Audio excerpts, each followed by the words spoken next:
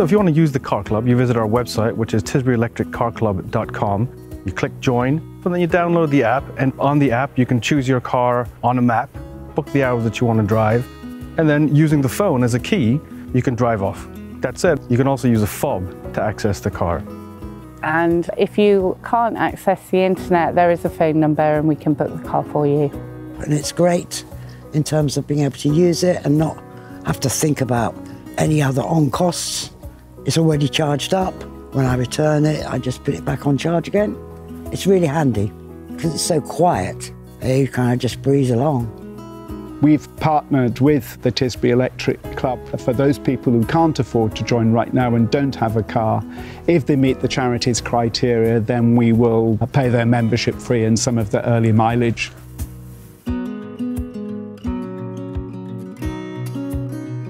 We were thinking about going electric, but it was too big an investment to begin with. So we've reduced to one car instead of two, and it's an experiment to see what we'll do going forward. The thing that prompted me to join was actually the ridiculously low amount of driving that I do in my own car. Sometimes I can go a whole week without taking my car out of the garage.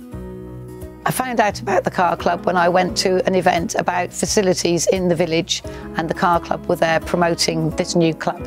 We used to have two cars and we've now got the one, so I use it when I need to pop into Salisbury to do some shopping or if I need to pop over to see my sister.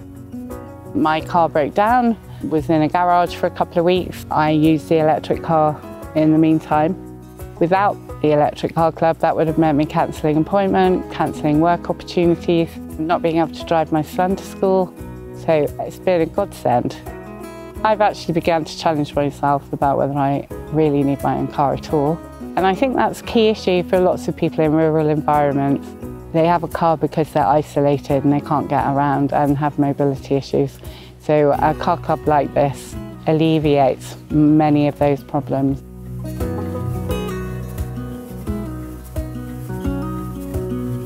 It's a real asset to the community. On the environmental front, it's a great concept to have an electric car rather than using more and more fossil fuels. It's much more preferable to actually buying more and more commodities, more cars, and having something that can be shared. So aside from any environmental benefit, we did some research on what people are generally spending on owning a car locally, and it tends to be within two to three thousand a year. Joining the car club could save people up to £2,000 a year, so people can save an awful lot of money. What that means really is that people end up with more disposable income that could be spent locally and it makes the local economy more resilient. And if you can get out to the larger towns and the hypermarkets, you can save significant amounts on your food.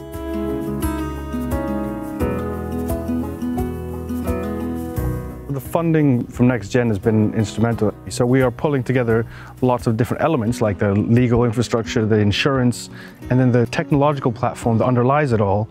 So we are now shareholders in a tech platform co-op, which we have now brought here. We're the first people to bring that to the UK, and we're joining up with other groups to extend the reach of that technological platform. And so really it was the exploring of those very different models that was made possible in the first place by Power to Change.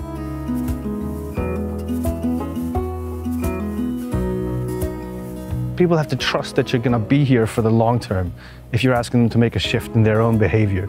So there's a real challenge in making people confident that we are here for the long term. And I think that the impact going forward will be lots of little communities, probably often hosted in community energy organizations, community transport organizations, land trusts, housing associations, any number of different communities that act as anchor tenants.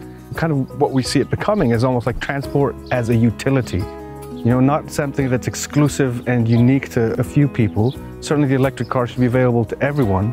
And long term, really, what we see is that the information that we gain from our users can be pooled with public transport providers, can be pooled with the trains and the buses in order to offer moving things and people in the most efficient, optimal way.